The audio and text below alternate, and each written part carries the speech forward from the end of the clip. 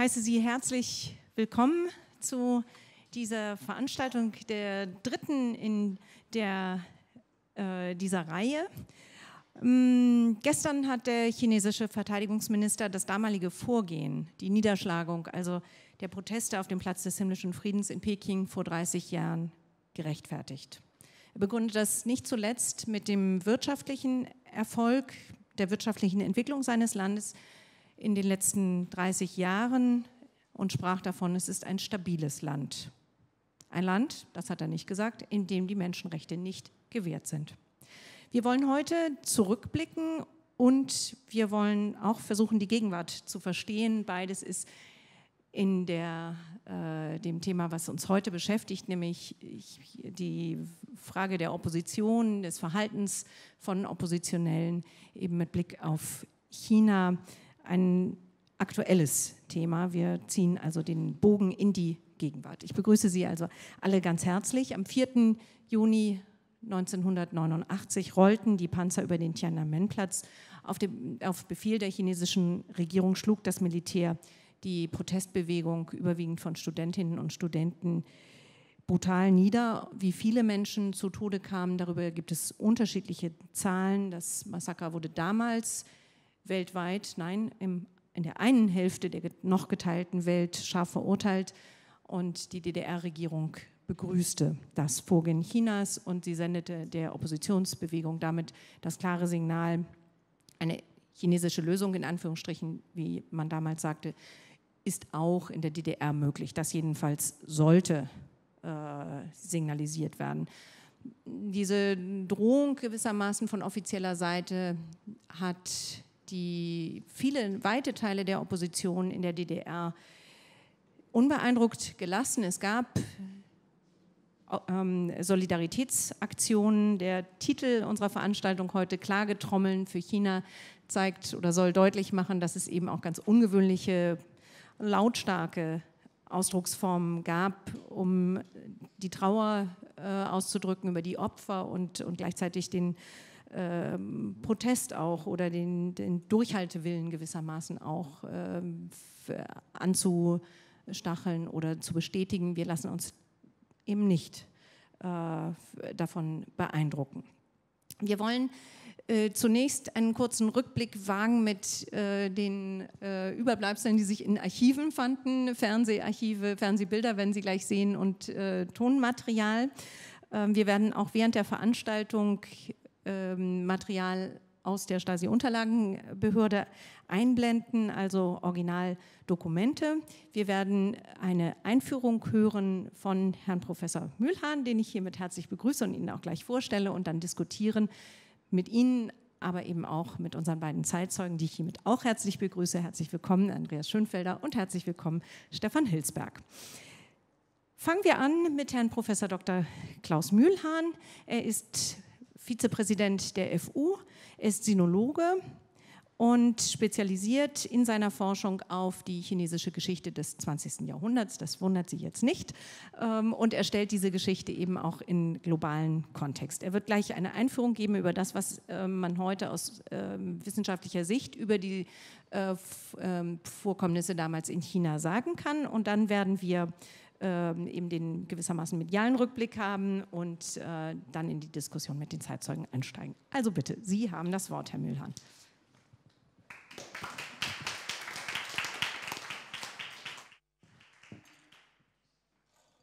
Ja, vielen herzlichen Dank. Äh, ich freue mich besonders, äh, heute hier zu sein und an der Diskussion teilzunehmen, weil das ein Thema und auch ein Aspekt ist, der, glaube ich, wirklich wichtig ist und enorme Auswirkungen hat natürlich auch auf die Gegenwart.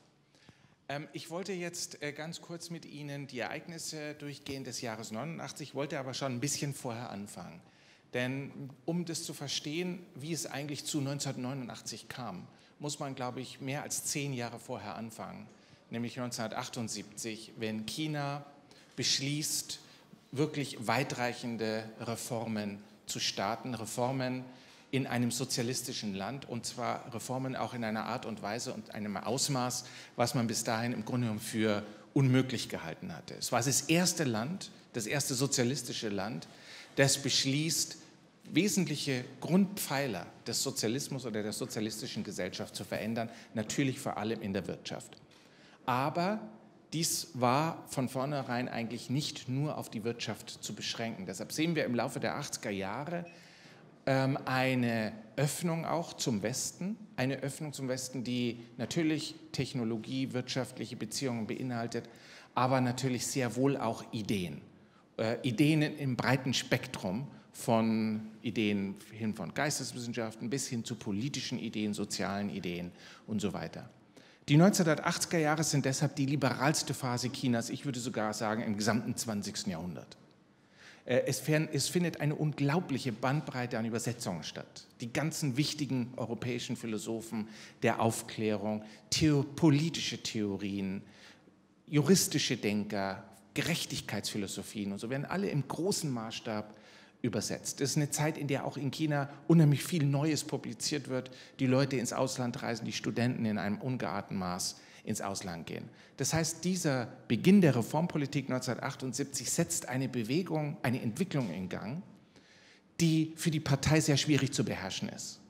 Ähm, es sollte natürlich alles nur auf der Wirtschaft passieren, aber im Endeffekt sehen wir in den 80er Jahren ein ununterbrochenes Pendeln zwischen Öffnung und dann aber auch dem Versuch, die vom Sicht der Partei aus unerwünschten Wirkungen dieser Öffnung einzugrenzen und einzuschränken, indem man irgendwie immer wieder versucht, äh, da gibt es Kampagnen gegen geistige Verschmutzung, Kampagnen gegen einzelne Schriftsteller, Kampagnen gegen einzelne Denker, die sich zu weit vorwagen. Es gibt eine Reihe von Positionen in China, die nachher wirklich Dissidenten werden, aber zu der Zeit ja auch noch angehört werden. Und ich möchte noch einen dritten Punkt dazu sagen.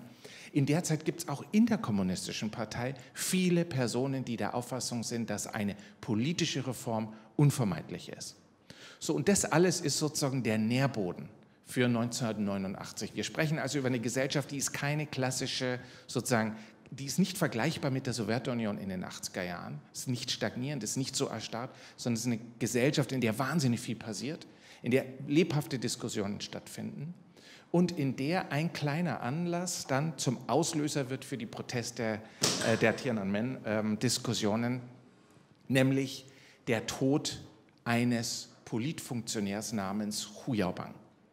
Äh, das mag jetzt überraschen, dass der Tod eines ähm, wirklich sehr hochrangigen Partei, er war Generalsekretär der Kommunistischen Partei, Auslöser werden kann für eine äh, Demokratiebewegung.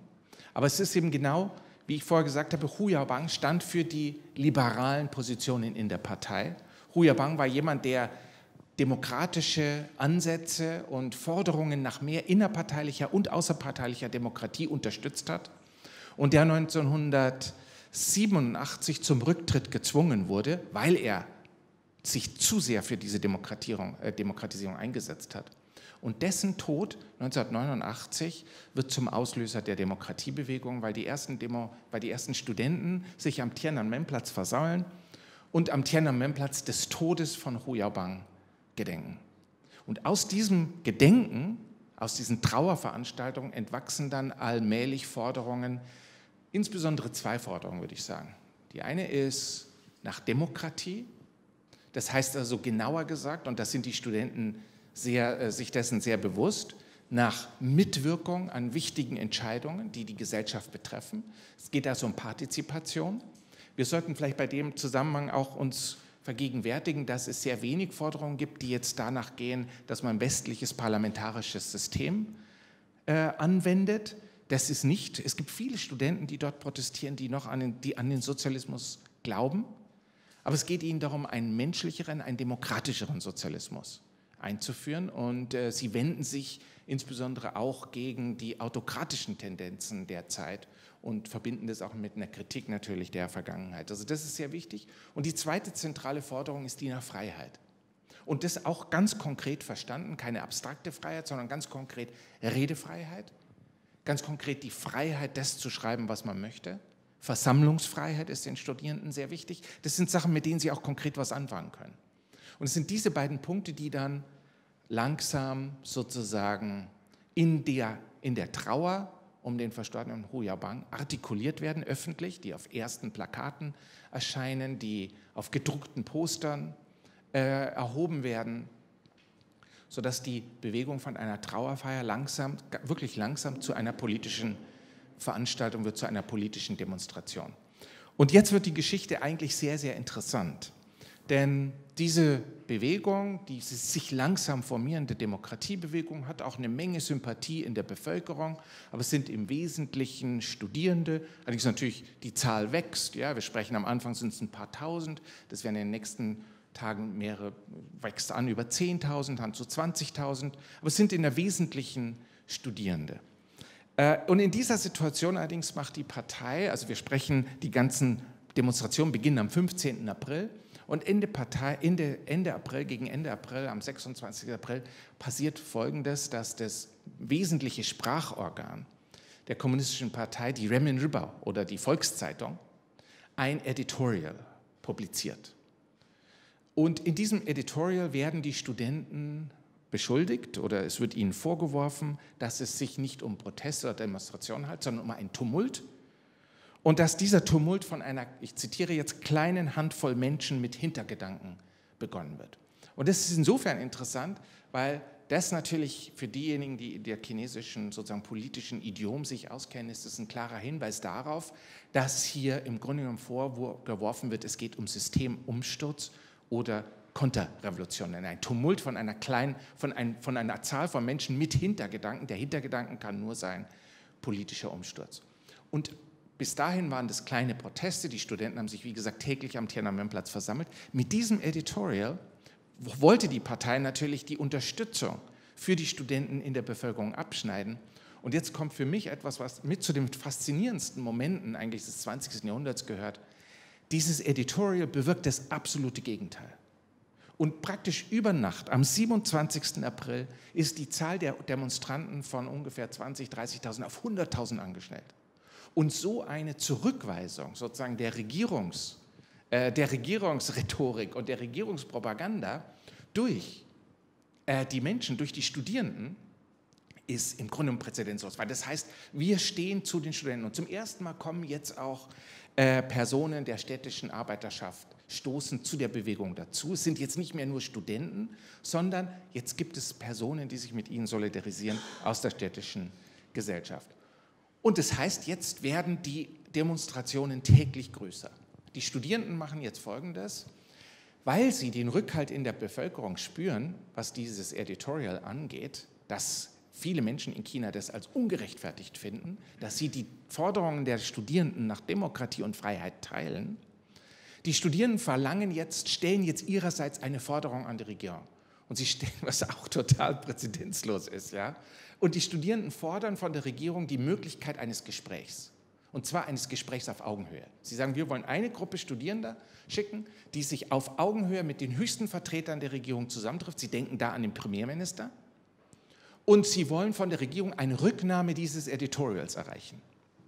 Das ist eine unglaubliche Herausforderung äh, des äh, chinesischen Staats. Und das, wie gesagt, unter dem Hintergrund, dass immer mehr Personen auf die, äh, zu dem Tiananmen-Demonstration stoßen. Die Regierung lehnt das ab. Die Regierung ist nicht bereit, mit den, äh, ähm, mit den Studenten auf Augenhöhe zu demonstrieren. Es ist völlig klar, warum. Weil man das als ein, ein Nachgeben, ein, ein so maßgebliches und massives Nachgeben sehen würde, dass die Regierung der Meinung ist, sie hat dann im Grunde genommen jede Autorität verloren. Es geht jetzt um die, um die Autorität der Regierung, um den, dass der Glaube unter der Bevölkerung aufrechterhalten ist, dass die chinesische Regierung die Macht hat, dass sie sich nicht von Studenten vorführen lässt, die noch dazu lose organisiert sind. So, dieses, äh, die Situation ist unausgeglichen etwa von Anfang Mai bis Mitte Mai. Und am 13. Mai passiert was weiteres als Vorgeschichte zum Tiananmen-Massaker. Am 13. Mai beschließen die Studierenden, dass sie in einen Hungerstreik treten, und zwar in Protest der Tatsache, dass die Regierung ein Gesprächsangebot verweigert. Sie sagen, wir lassen uns nicht mehr länger hinhalten und im Grunde kann man sagen, die Studierenden eskalieren. Und sie kommen auf einen, im Grunde muss man sagen, unglaublich wirksamen Griff, den es so gar nicht in der chinesischen Geschichte gibt, weil die, die, es gibt keine Geschichte von Hungerstreiks, so wie überhaupt der Hunger in China kein Mittel des Protestes war, weil wir eine sehr arme Gesellschaft haben, die sowieso äh, äh, unter Hunger litt zum größten Teil. Sie kommen also auf die Idee, einen symbolischen Hungerstreik mitten auf dem Platz durchzuführen. Und das wiederum setzt die Regierung natürlich immens unter Druck. Und es ist dann einige Tage nach diesem Hungerstreik, dass die Regierung in der Tat das Kriegsrecht am 20. Mai, sieben Tage danach, verhängt, weil man jetzt ahnt, okay, das geht jetzt in eine Eskalation und Konfrontation, die die Regierung nicht mehr anders vermutlich, ich glaube, da wird es schon klar, äh, klären kann. Der Hungerstreik führt zu einer gigantischen Solidarisierung. Und wiederum, die chinesische Regierung ist sprachlos. Anstatt der Tatsache, dass jetzt Kriegsrecht verhängt wird und die Leute zu Hause bleiben, gehen, wächst die Zahl der Protestierenden von 100.000 auf eine Million an. Das heißt also, die, äh, exakt das Gegenteil. Der Hungerstreik, mit dem man sieht, die, täglich wird am Fernsehen übertragen, wie die Studierenden im Grunde schwächer werden. Äh, damals gibt es ja noch kein Internet und kein Dings, sondern das wird über ausländische Medien sowie auch über einheimische Medien, wie auch Mundpropaganda und von Mund zu Mund übertragen. Die Leute ahnen das.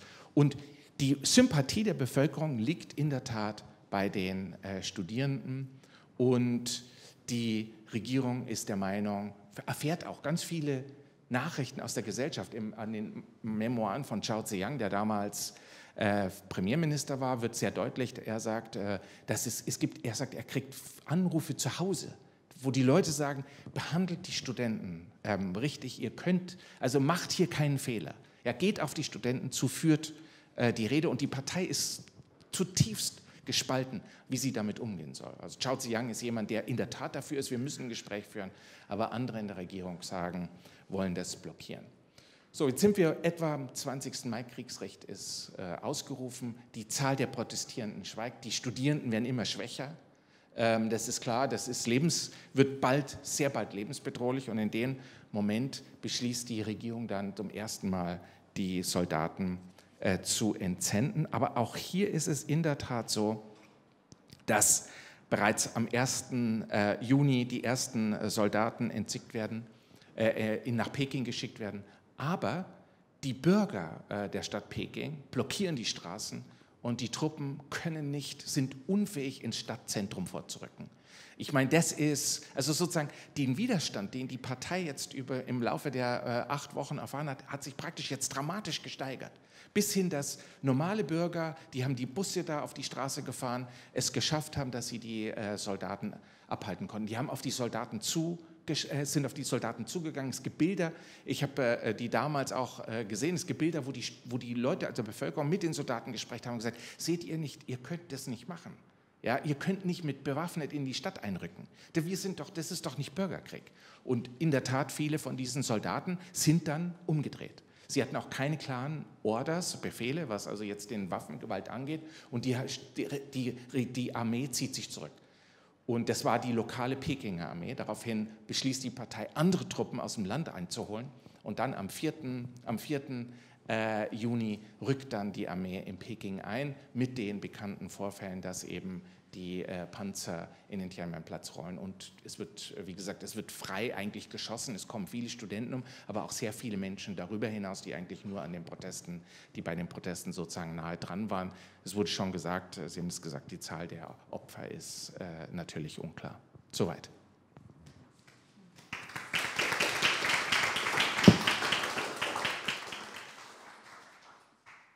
Ja, haben Sie vielen Dank. Jetzt haben Sie uns äh, eingeführt in diese die Stimmung, die damals herrschte. Äh, die westlichen Medien haben äh, die Situation versucht auch einzufangen und zu beschreiben, aber tatsächlich richtete sich gewissermaßen die, die, das Auge der Kamera erst in dem Moment so wirklich auf China, als diese Proteste niedergeschlagen wurden. Die Protestbewegung war äh, für westliche Journalisten eben vielfach auch nicht zugänglich. Könnten wir auch noch mal darüber reden, ob das äh, vergleichbar ist mit der Situation in der DDR oder nicht. Haben Sie vielen Dank. Ich würde vorschlagen, wir gucken jetzt tatsächlich äh, uns die authentischen Medienquellen an, als da sind. Einmal einen Ausschnitt aus der aktuellen Kamera äh, dann ein Ausschnitt von Radio Glasnost. Radio Glasnost wird vielleicht nicht jedem ein Begriff sein, zumal der Sender leider seine Tätigkeit eingestellt hat. Äh, Radio Glasnost saß in Berlin-Kreuzberg, also im Westen, um es nochmal ganz deutlich zu sagen, und sendete mit dem Ziel, Hörer im Osten zu informieren über ja, ähm, äh, über insbesondere natürlich oppositionelle Tätigkeit, aber nicht nur ähm, dass äh, dieser Sender wäre eine eigene Veranstaltung wert. ähm, es wurde Material, Tonmaterial in der DDR erstellt, heimlich aufgenommen, heimlich in den Westen geschmuggelt und von dort aus gesendet. Das war natürlich kein 24-Stunden-Vollprogramm, wie Sie sich vorstellen können. Unter diesen Bedingungen kriegt man äh, so viel Material dann auch gar nicht äh, geschmuggelt und hergestellt, vor allem.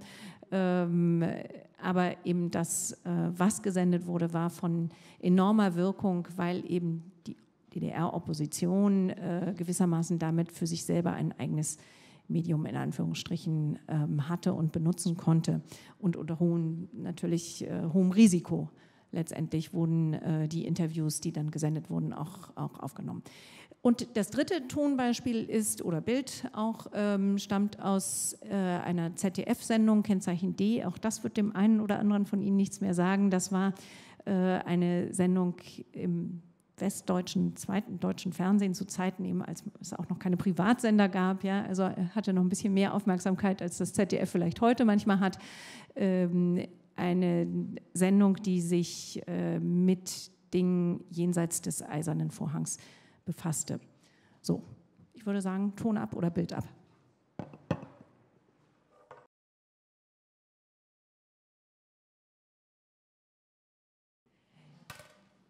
genug der, äh, des, des, Medienkonsums, war ja auch so ein bisschen ein Rückblick auf die Fernsehgeschichte. Ähm, diese Art der Präsentation ist uns ja inzwischen doch ein wenig fremd geworden. Ich darf Ihnen unsere beiden Zeitzeugen vorstellen. Eigentlich brauche ich sie nicht vorzustellen, weil sie äh, nicht unbekannt sind. Ich tue es trotzdem. Bei uns ist Stefan Hilsberg. Stefan Hilsberg war lange Zeit in kirchlichen Friedenskreisen aktiv. Ich verlese jetzt keine langen, ausführlichen äh, und detaillierten äh, Biografien, sondern fasse es ein bisschen unlauter zusammen. Ähm, Herr Hilsberg war Gründungsmitglied der SDP, also der Vorläuferpartei der Sozialdemokratie in der DDR, gegründet, also am 7. Oktober 1989. Er war dann, um noch einen Blick nach, äh, auf die Zeit nach dem Ende der DDR zu werfen, von 2000 bis 2002 parlamentarischer Staatssekretär beim Bundesverkehrsminister und ähm, von 2005 bis 2007 stellvertretender Vorsitzender der SPD-Bundestagsfraktion. Schön, dass Sie da sind. Daraus ergibt sich auch, dass Sie Bundestagsabgeordneter waren. Natürlich auch das habe ich jetzt mal ein bisschen unter den Tisch fallen lassen. Und bei uns ist Andreas Schönfelder.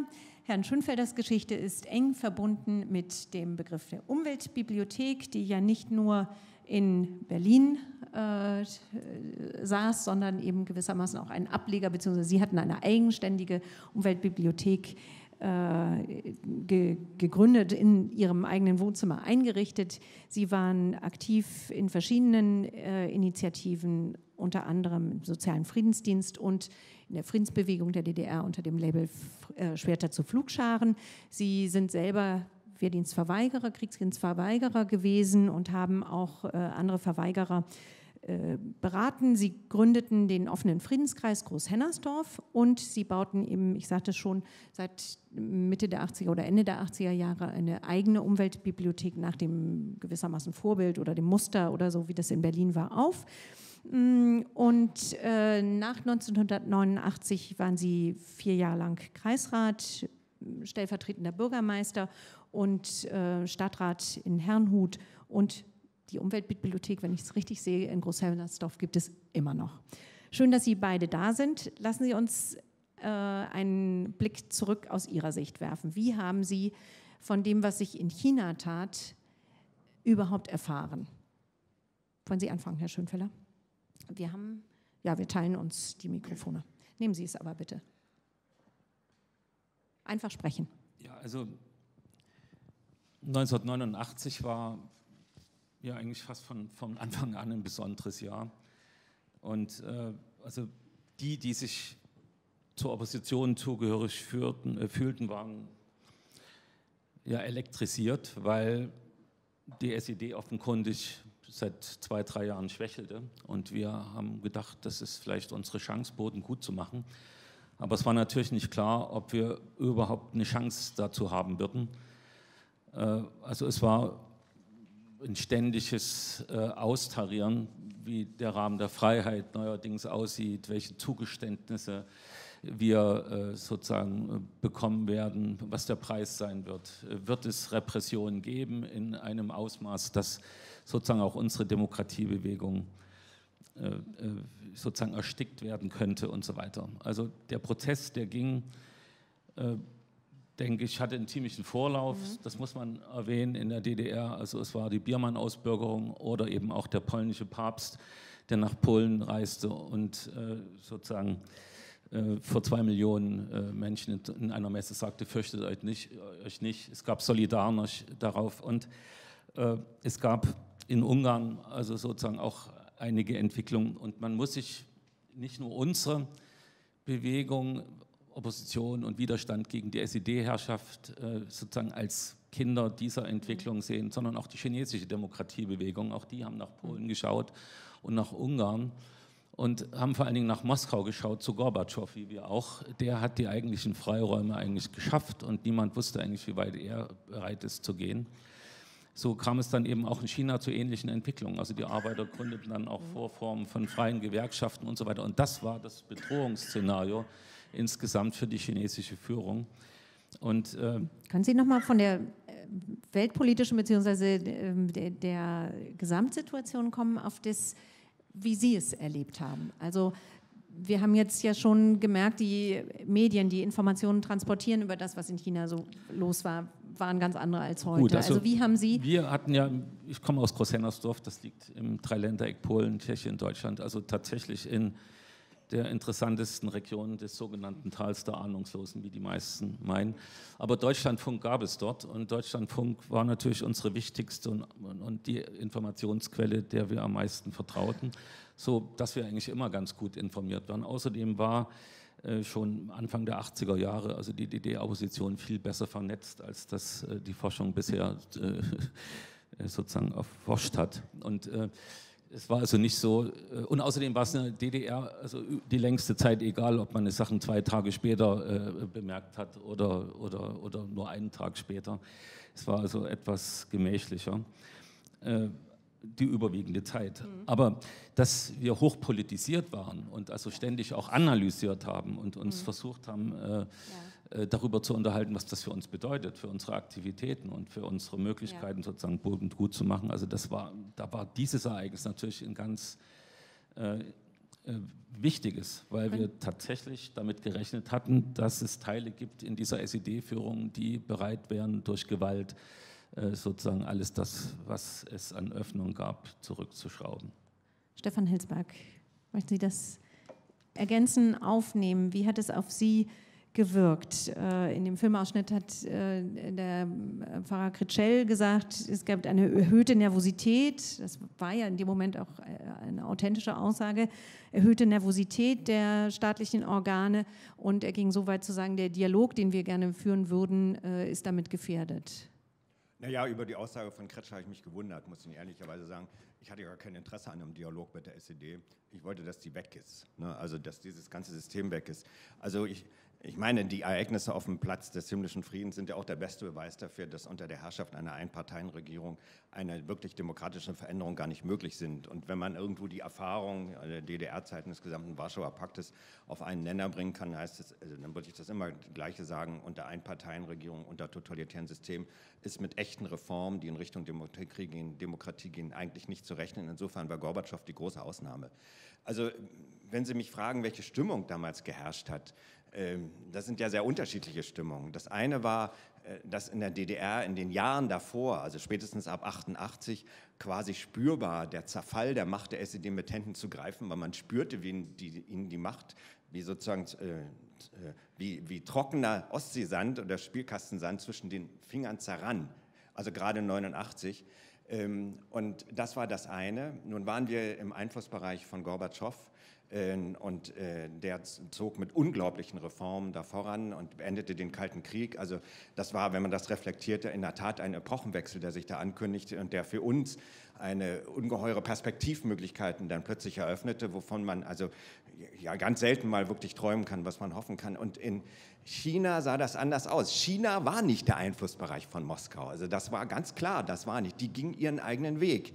Und ähm, wie bei all diesen mutigen Demonstrationsbewegungen, die es ja auch im Ostblock gegeben hat, also in, in Warschau hat es die, in, in Prag hat es gegeben, hatte man solche Sachen mit ähm, einerseits äh, gespürt, welcher Zauber da drin liegt. Ne? Also was diese Leute für einen Mut haben, aber was sie auch gewinnen müssen, welche, was das bedeutet für die eigene Freiheit und die eigene Lebenswirklichkeit, da plötzlich äh, mutig zu sein, seine, die eigene Meinung zu sagen, dem Staat zu widerstehen, aber eben auch permanent die Angst, wie wird denn das ausgehen? Wie wird denn das ausgehen? Und äh, wir reflektierten das, wir sahen, das wurde ja permanent hier in den Westmedien ja auch sozusagen drüber. Und solidarisch war ich immer bei den Studenten, aber ich konnte mir nicht vorstellen, dass die, ähm, dass die chinesische Führung die Chance, die sich ihr hier bot, nämlich tatsächlich den Weg zur Demokratisierung weiterzugehen, äh, wirklich würde nutzen können. Also da hätte auch sehr, sehr viel dazu gehört. Sie sind, hatten seinerzeit einen ganz anderen Weg eingeschlagen und mir tat das weh, was da kam. Ähm, und ähm, Jetzt wissen wir ja, dass das nicht nur eine Frage der Studenten war. So ist das 89 äh, hier sozusagen rübergekommen, reiner Studentenprotest. Inzwischen wissen wir, und das haben Sie auch deutlich gemacht, dass das im Grunde um das ganze Volk erfasst hatte. Und für die Kommunistische Partei in China ist es offenbar ums Ganze gegangen. Und dann sahen sie sich gezwungen, sozusagen das Militär zu nutzen. Und als das passierte, als das passierte, da war das so eine Mischung aus Empörung, großem Zorn und unheimlich viel Trauer, die man sozusagen mitgespürt hatte, die wir hier auch gespürt haben in der DDR. Ähm, und ähm, die, man stand sozusagen, wir standen an der Seite dieser Studenten, die waren, die wollten etwas, was wir auch wollten. Ähm, und ich habe sehr, sehr mit ihnen mitgefühlt. Das ist so ein Moment, was du in der DDR immer wieder erleben konntest, im ganzen Sozialismus, dass plötzlich Hoffnung in sich zusammenfällt, richtig in sich zusammen.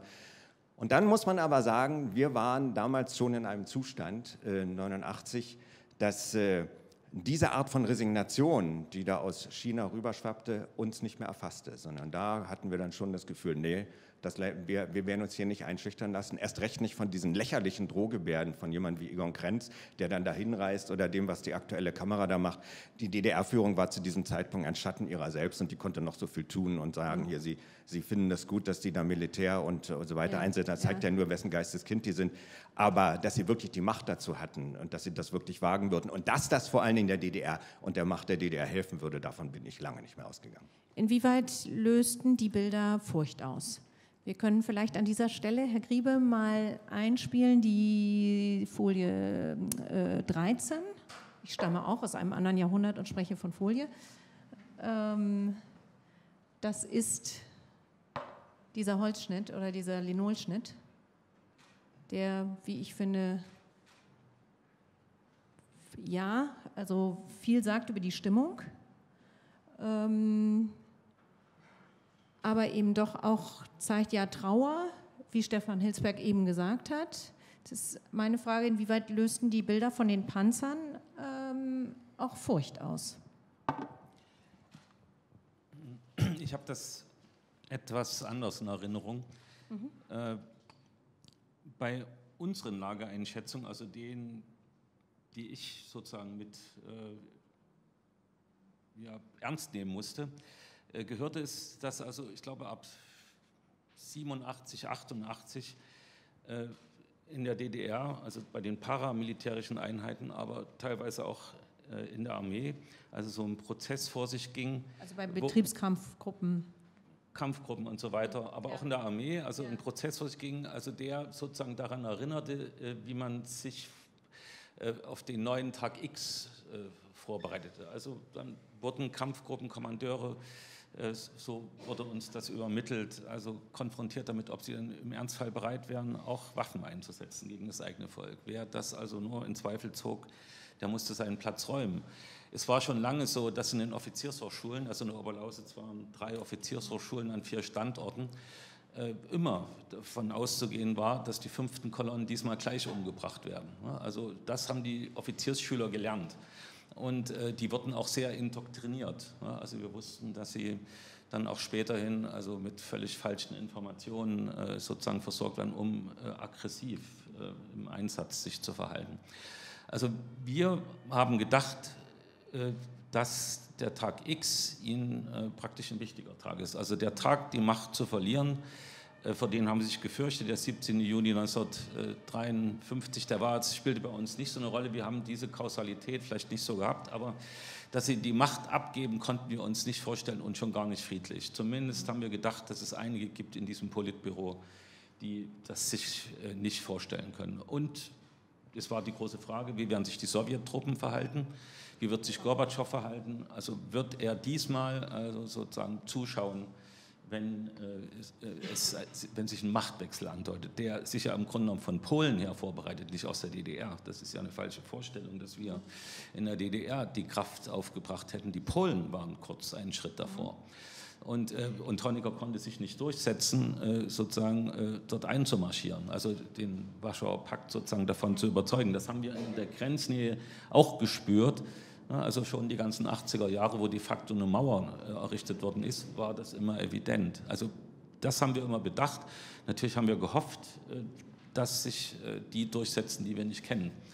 Also Kommunisten, die sozusagen ihre Macht einfach so abgeben. Sowas konnten wir uns ganz wenig vorstellen, aber wir haben immerhin gehofft, dass es vielleicht einen Kredit gibt oder irgendetwas. Ja, Stefan Hilsberg. Naja, naja. Ähm 4. Ähm, Juni 1989, da waren doch die ersten freien Wahlen in Polen schon gewesen. Ne? Und äh, die kam damals in meinem Institut, ich habe in der Charité gearbeitet, ein kleiner Programmierer, ähm, nach dem Tag der Wahlen äh, zu meinen Kollegen, da begrüßten die mich freudestrahlend, hast du schon gehört, die Kommunisten sind in Polen unter die 5%-Hürde gegangen. Also das war gewissermaßen die Reaktion, das reflektierte man sehr genau. Ähm, die Ungarn sprachen ganz offen über ihre Öffnung und wenn mich nicht alles täuscht, hatten sie auch das erste Mal die Mauer schon aufgemacht, ne, sozusagen dann auf Intervention der DDR wieder geschlossen. Ähm, Gorbatschow hat derlei äh, Propaganda, wie sie lächerlicher Art hier von Krenz und dem DDR-Fernsehen gemacht wurde, ja nicht gemacht. Ich weiß nicht, ob er sich von der Gewalt distanziert hat. Aber Gorbatschow hat immer darauf Wert gelegt, dass es keine Gewalt geben darf. Jetzt fahre ich mal ein bisschen hm. zurück. Jetzt fahre ich mal ein bisschen zurück von der ähm, ihrer aus heutiger Sicht natürlich äh, gemacht. Ist nicht heutige Sicht. Ist nicht heutige Sicht, ist, nicht ist damalige Sicht. Aber kommen Nein, wir auf das damals Und es noch gibt konkreter, noch ein paar andere Sachen. Mit, nämlich mit folgender Bitte, ja. ähm, dass wir doch mal darauf kommen, wie äh, die Oppositionskreise, denen Sie jeweils angehörten, reagiert haben. Das ist, glaube ich, jetzt das, was wir äh, nochmal genau, das ist die Chance, dass wir sie bei uns haben, äh, dass wir das genau in den Blick nehmen. Ähm, was für Forderungen schlossen sich an? Was für Reaktionen gab es? Was für Diskussionen gab es auch nach, dem, nach diesem 4. Juni? Also wir haben, waren im kleinen Friedenskreis, sie schossen ja damals wie Pilze aus dem Boden, eine Gemeinde meines Vaters, meine eigene Gemeinde, eine Golgatha-Gemeinde in Nähe vom Nordbahnhof. Ähm, und ähm, uns gab es erst seit Anfang 88, also ich war nicht lange da in der Friedensbewegung, zwei Jahre maximal. Und, ähm, und die Stimmung war aber allgemein empörend. Und ich weiß es nicht mehr ganz genau, ob ich der Initiator war. Ich glaube, dass sagten, wir lassen, hier, wir lassen uns hier nicht einschüchtern, wir machen eine Protestresolution. Äh, die können wir jetzt auch kurz einspielen, nämlich das ist ja. Folie 9 und 10. Wenn die, ich das, das ist eine lustige Geschichte mit dieser Protestresolution. Ja. Ach, das, die wurde auch kurz erwähnt eben äh, in dem, dem Filmbeitrag. Ähm, Herr Hilsberg muss die Chance nutzen, sie selber anzugucken, weil er sie zu Hause nicht gefunden hat, ja, ja, ich das ich verraten meine darf. Unterlagen geguckt, ja, ja, ja. Ähm, 5.6., ja, ein, ein Tag später. Das war für unsere damaligen Verhältnisse schon eine Leistung, relativ schnell mit einer solchen Erklärung rauszugehen. Ähm, ich hatte dann den Job übernommen, diese Erklärung in, die, in der chinesischen Botschaft sozusagen zu überbringen. Und ich fuhr dann mit meinem kleinen blauen Trabi, Trabi Kombi, unser Familienauto, äh, mit etwas mulmigem Gefühl in Richtung Pankow. Und ähm, dann äh, bin ich da, von Ferne sah ich sozusagen diese Botschaft schon und plötzlich sah ich, dass da lauter Polizisten um den Eingang drumherum stehen, sozusagen ein Kordon bildeten. Und ich sah auch das, was da in dem Bericht war, zu, äh, zu hören war, nämlich, dass da ein Ello stand. Ein Ello war, ich weiß nicht, ob Sie das noch wissen, so eine Art Kleinlaster. Ne? Ein beliebtes Transportinstrument für die bewaffneten Organe war dieser Ello. Äh, und äh, würde ich mal sagen, heutzutage vielleicht ein Achttonner oder sowas, ein Auto und mit einer gewaltigen Ladefläche, wo man drauf sitzen konnte. Und die schmissen, als ich da in diese Richtung Botschaft fuhr, gerade so einen jungen Mann rauf, der so ähnlich aussah wie ich. Und da habe ich gedacht, das tust du dir nicht an. Also das war es mir dann doch nicht wert. Also wegen dieser Erklärung wollte ich nicht äh, möglicherweise inhaftiert werden. Also das wäre den Preis nicht wert gewesen. Und dann bin ich mutig, wie ich war, mit meinem Auto an diesem Polizeikordon weg, vorbeigefahren und habe meine Erklärung in den nächsten Briefkasten geworfen. Und immerhin hat es so viel genutzt, dass sie jetzt hier mit einem Beamer an die Wand geworfen werden kann. Also als zeitliches Dokument. Also so ist das seinerzeit gewesen. Und ähm, vielleicht noch ganz kurz zur Einordnung.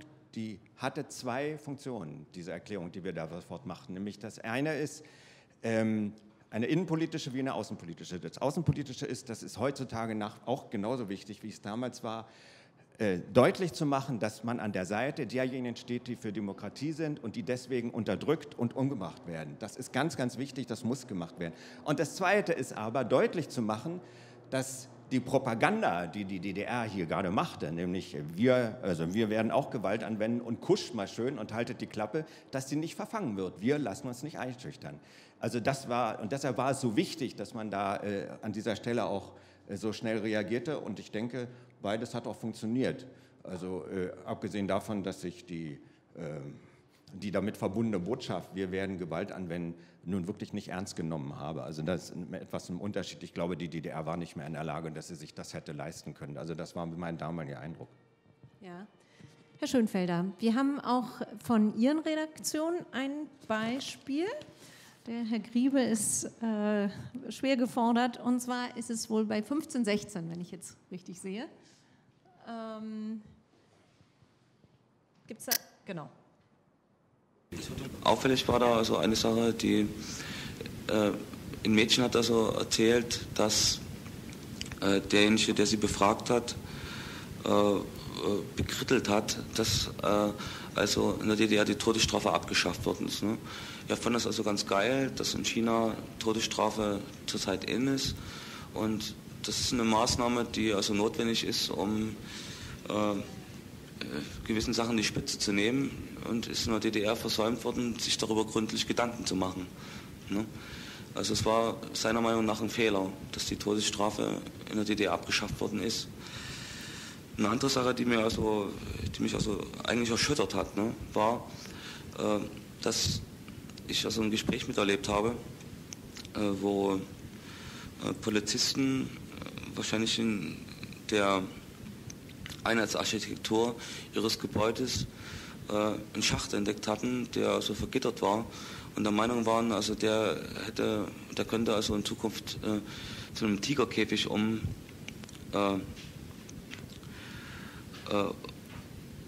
umgestaltet werden für den Fall, dass also alle Verwahrraumzellen äh, gefüllt sind. Ne? Und es machten sich dann eine ganze Reihe Polizisten über diesen guten Einfall lustig.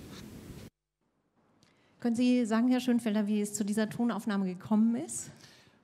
Na, ich war äh, auf dem Weg zu dieser Demonstration und bin äh, aber vorher noch im Prenzlauer Berg, noch Kopenhagener, äh, bei Rex Gülzow oder Rex Joswig vorbeigegangen. Also das ist der Chef einer damals ziemlich bekannten Band, Herbst in Peking, äh, gewesen, muss man sagen. Also die hatten eine Woche vorher bei einem Konzert in Potsdam eine Schweigeminute eingelegt für die Opfer auf dem Tiananmen-Platz und haben ihre Spiellizenz verloren und ich habe äh, versucht am Frühstückstisch sozusagen die davon zu überzeugen, äh, dass eine gute Gelegenheit wäre, mit nach Pankow zu kommen. Und so kamen wir, die sind dann mitgekommen zwei und, äh, und wir sind etwas später dann sozusagen eingesammelt worden.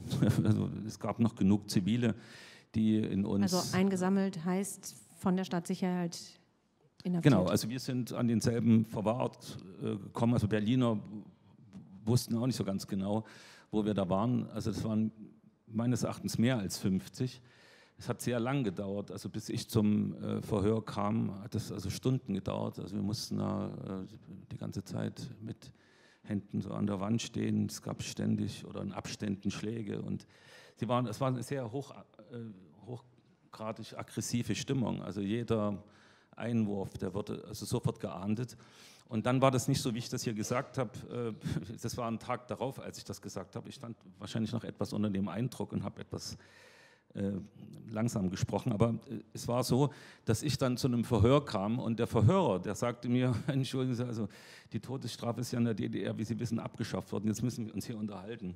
Und, äh, und da dachte ich, das, also ich habe noch nie so einen Einstieg, äh, ich war wirklich sehr oft auf Revieren, also im Laufe der Jahre, aber das war der interessanteste Einstieg, den ich erlebt habe und ich dachte, mal sehen, wo wir da landen werden. Und dann kam das mit den Tigerkäfigen und das war auf dem Weg in die Schleuse. Also da muss man sich vorstellen, da stand dann so ein äh, Schikoli und äh, der fuhr ab, wenn drei. Also die Schleuse, wir müssen das nochmal wirklich vor Augen führen, den Anwesenden. Vielleicht äh, die Schleuse als der gewissermaßen schleusenartig konstruierte Eingang. Genau, so. genau. Ne? Also da, da, stand dieses Auto, also hinter einem im Tor und vor einem im Tor. zum Untersuchungsgefängnis der Stadtsicherheit. Raus. Raus. Genau, raus, raus aber dem, immer noch in der Schleuse. Aber in also der Schleuse drin und äh, ja. also wir wurden nicht entlassen, sondern genau. wir wurden in ein Auto gesetzt. Und das, ich, wir hatten, ich hatte also kein Zeitgefühl mehr, das kann vielleicht 24 Uhr oder so gewesen sein. Und dann äh, haben wir eine Fahrt gehabt, die gefühlt Stunden ging. Ja, also die haben uns gefahren, also geht das jetzt links oder fahr mal rechts jetzt. Und also wir haben äh, uns nicht unterhalten. Äh, wir waren zu dritt und äh, zwei Polizisten. Wir haben gedacht, die fahren uns in den Wald oder nach Hohenschönhausen. Und das hat sich aber dann aufgelöst. Also wir sind dann in Berlin-Buch gelandet und das hatte im Grunde genommen, wenn das überhaupt einen Sinn hatte, also schon eine Einschüchterung alles. So hat das einschüchternd, hat das gewirkt. Und wir haben gedacht, das ist so ein Paradigmenwechsel. Also jetzt ist so ein, eine Sache gekommen, wo manche jetzt äh, einfach aggressiver auftreten, um zu sagen, also wir sind hier die Autorität, die lassen wir uns nicht nehmen, schon gar nicht von euch. Und äh, das hat aber den Sinn, dass die letzte S-Bahn also sozusagen weg sein sollte. Man ist dann in Berlin Buch, ich bin dann irgendwie in die Stadt reingelaufen, Taxi konnte man dann nicht äh, sozusagen rufen und bin dann wieder in die Kopenhagener 15 gegangen und die anderen waren schon da und dann haben wir kurz geschlafen und dann kam es irgendwann dann am Vormittag, haben wir uns dann insgesamt getroffen zu einer Auswertung. In Zittau gab es auch, äh, das wollte ich vielleicht noch erwähnen, äh, dieses äh, Klagetrommeln, das gab es also in vielen Kirchgemeinden in der DDR. Also vor allen Dingen dort, wo regelmäßig jede Woche Fürbittgottesdienste stattfanden. In Zittau war das immer an einem Mittwoch. Und da gab es dann auch ein Transparent und das wurde in der Öffentlichkeit, also es gab jemanden, der da auch sozusagen trommeln konnte. Und das, das hat alle eigentlich tief bewegt und äh, was da so an Bildern kam und wenn es dieser Propagandafilm war, das hat äh, uns schon gezeigt, äh, dass das kein, nicht unbedingt ein Spaziergang sein muss, der da vor uns noch steht. Wenn man sich überlegt, hm, was die Opposition damals wollte, Sie haben das jetzt immer äh, erwähnt, äh, so en passant.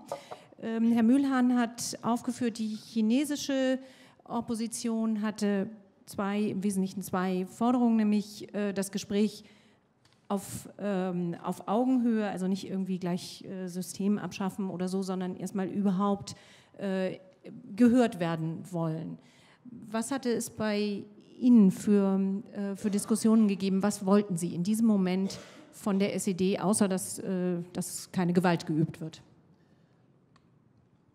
Na, also ich würde schon sagen, das, was Stefan Hilsberg gesagt hat, wir haben uns jetzt nicht einschüchtern lassen. Ne? Wir haben nur eben registriert, dass es sozusagen eine Art Eskalationsstufe gibt oder wir ja.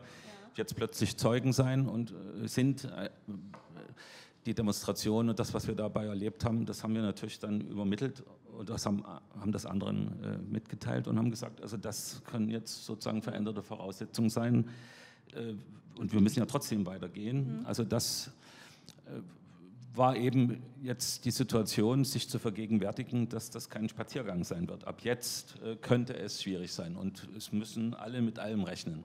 So, also das Exempel statuiert werden, das also nicht so wie die chinesische Lösung, das hat niemand gedacht. Äh, es hat von uns, glaube ich, niemand gedacht, dass die Russen äh, äh praktisch wie zum 17. Juni mit, mit 14 oder 17 Divisionen in, in, das Land einmarschieren. Aber, aber dass äh, manche freie Hand haben und dass nicht alles äh, mehr sozusagen reguliert ist, dass manche vielleicht aus Angst heraus, also so agieren und dass es, das Blut fließen könnte, das mussten wir jetzt einfach einrechnen und haben das auch eingerechnet. Jetzt geht es eben so weiter. Also ich habe niemand jetzt erlebt, der da gesagt hat, jetzt äh, müssen wir aber jetzt vorsichtiger werden oder, oder aber und man muss noch eben äh, wissen, es gab vorher also durch Honecker einige Zeichen, die er der Bevölkerung gegeben hat. Er hat also Ceausescu den Karl-Marx-Orden verlieren. Also der hat den wirklich schlimmsten Verbrechern hat er noch mal den, hatte mit, mit ihnen Hof gehalten. Also er hat auch nach, zur albanischen KP Kontakt aufgenommen. Und sowas, das war unfassbar. Also da hat man jetzt nicht gedacht, äh, dass der äh, nochmal klug wird im Leben. Mhm. Und äh, diese, äh, ja, sage ich jetzt mal, Situation äh, war vielleicht auch sozusagen eine, wenn man das im Nachhinein sieht, eine, eine wo wir nochmal robuster mhm. geworden sind. Also vielleicht auch noch etwas energischer. Aber das will ich nochmal sagen. Rückblickend muss man sagen, es gab die letzte Lageeinschätzung, also das war der Hintergrund im Oktober der Staatssicherheit. Ja. Äh, es gab nur 3700, die die Staatssicherheit oder die SED als besonders gefährlich. Also es gab im Dunstkreis dann vielleicht nochmal 3.000, 4.000. Bleiben wir mal, nee, nee, bleiben wir mal also bitte bei, den, ich will bei sagen, der Frage. Ich will nur sagen, wir, ja. wir wussten zu diesem Zeitpunkt also noch nicht, dass es große Demonstrationen in Leipzig geben wird. Also wir waren, eine, wir waren so klein, wie wir immer waren. Es gab überhaupt keine Mobilisierung oder, oder sowas. Mhm. Die, Ausreißer, die Leute, die gehen, das waren die. Also ich hatte plötzlich einen Fahrer in dieser Zeit, also der meinte, äh, mich überall hinfahren zu müssen, damit sein Ausreiseersuchen sozusagen dann befördert wird, weil er in der Nähe von so einem gefährlichen Menschen wie mir das macht. So, das war die Situation. Alles andere kam etwas später. Stefan Elsberg, wie haben Sie es empfunden? Und nochmal meine Frage auch, inwieweit hat äh, diese Forderung nach Demokratie, nach Teilhabe, von der Herr Müller sprach, dieses Gespräch auf Augenhöhe, was die chinesischen Protestierer eben wollten, äh, Sie, Sie auch beeinflusst oder Sie sagten, okay, das äh, ist jetzt vielleicht auch völlig aussichtslos, so etwas anzustreben, weil wir eben gesehen haben, wie äh, die in Agonie befindlichen Systeme reagieren? Also ich hatte nicht den Eindruck, dass das chinesische System in Agonie äh, lag, überhaupt nicht. Ähm, ähm, das, das, sah man da, da ging wirtschaftlich ja die Post ab, auch in der damaligen Zeit. Also das war ja eine der Hauptziele der Deng Xiaopingschen Reform und so weiter, die Liberalisierung erstaunlich. Äh, eine kommunistische Partei ein so kapitalistisches Modell sozusagen realisieren kann, aber deshalb ist es ihnen ja gelungen. Ähm, ich war damals ein Suchender ähm, und ich habe die ganze Zeit gegrübelt, richtig gegrübelt, was man machen kann. Denn mir war völlig klar, Protest alleine reicht nicht. Äh, du musst ein politisches Konzept haben, ähm, mit dem du erstens äh, die Macht der SED in Frage stellen kannst und ähm, eine Alternative aufbauen kannst. Und dafür brauchst du auch ein paar Leute und du brauchst ein Konzept, die sich um sozusagen, um die sich diese Leute da scheren können. Es gab natürlich ein oppositionelles Spektrum und das war sehr, war sehr viel größer geworden und es war mutiger geworden äh, und die waren auch alle couragiert, also es waren total tolle Leute. Ich war sehr froh, dass man mit denen zusammenarbeiten konnte. Aber ich fand so gut wie nie jemand, wo ich das Gefühl hatte, äh, das ist jetzt mal etwas, dem du folgen kannst. Ne? Und ich selber fühlte mich eigentlich nicht in der Lage. Es war aber klar, ähm, ich wollte keine kleinen Reformen. Das, Entschuldigung mal, ich wollte keine Demokratisierung unter der Ägide der SED, also das wäre das Letzte gewesen. Den hätte ich nicht über den Weg getraut. Also diesen ganzen Kommunisten habe ich nicht über den Weg getraut. Also da war mir immer klar, angesichts der Propaganda, wenn die das Heft in der Hand behalten, dann ist das alles nur Fassade und Fassade darf es nicht sein. Wir brauchen eine freie und offene Gesellschaft. Also war völlig klar, die müssen weg vom Fenster. Also die, aber wie man das jetzt macht und mit wem man das tut, das war eine ganz andere Frage. Und deshalb, ich weiß, ich bin dann durch die ich stand in den, in den Freibädern unter der Dusche und überlegte die ganze Zeit, was kann man machen? Also du bist dann sozusagen produktiv tätig und, und versuchst etwas. Und ich persönlich für mich habe damals kaum eine Lösung gefunden. Also ähm, das änderte sich erst, als ich diesen Aufruf zur Gründung einer sozialdemokratischen Partei las. Und das war erst Ende August, also drei, sozusagen drei Monate später. Aber die Stimmungslage war eine andere. Die Stimmungslage war so, die können mich nicht Und die können mich, also man ist ja auch, man hat geradezu gespürt, dass in der DDR etwas jetzt möglich war, was vorher so nicht möglich war. Die, die Macht des Staates zog sich sichtbarlich zurück. Und das war auch im Juni schon spürbar. Deshalb war das ja so lächerlich, was sich da sozusagen mit dieser Propaganda abgespielt hatte. Aber ich war nicht derjenige, der ein ganz klares Konzept hatte und wie das jetzt weitergeht. Ich hatte allerdings auch das Gefühl, die Tage der DDR sind gezählt. Ähm, hängt übrigens mit äh, Görlitzer Erlebnissen zusammen. Und ich spürte, und ich war der Meinung, dass wenn die SED-Macht zusammenbricht, wird es zur deutschen Einheit kommen. Nicht, dass ich sie gewollt hätte, emotional, das kann ich nicht sagen, aber ich hatte die feste Überzeugung, das wird zur deutschen Einheit kommen, weil was soll dann an die Stelle der DDR treten, wenn an dieser Stelle die Macht in sich zusammenbricht? So weit war ich, das ist gar keine Frage. Und ich war auch nicht dagegen, dass das passiert. Ich hatte nur das Gefühl, eigentlich musste doch das Land zuerst mal demokratisch, es musste zuerst eine Frage sehen, die deutsche Einheit löst doch das Problem alles nicht. Also in etwa so war die Gemengelage, in der ich mich befunden habe. Äh, Sie können, Sie sehen also, hier steht nicht jemand vor Ihnen, der sozusagen mit einem großen Heiligenschein der Meinung war, er hätte immer schon gewusst, wo das alles hingeht. Der Meinung war ich wirklich nicht und in dieser Position war ich auch nicht. Es gab welche, die das hatten. Das muss ich sagen. Und das waren nicht nur wenige hundert, das waren vielleicht zwei oder drei Leute, die sich da, die da über eine ganz klare Perspektive im Juni verfügten. Also mhm. mehr war ja. es nicht.